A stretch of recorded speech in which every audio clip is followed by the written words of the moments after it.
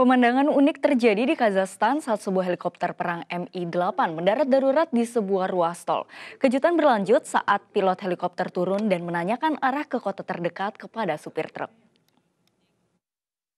Satu unit helikopter perang Mi-8 mendarat darurat di sebuah ruas tol di Kazakhstan.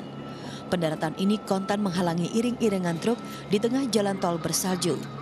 Keterkejutan pun berlanjut saat salah seorang kru helikopter tiba-tiba keluar dan menanyakan arah ke kota terdekat kepada sopir truk.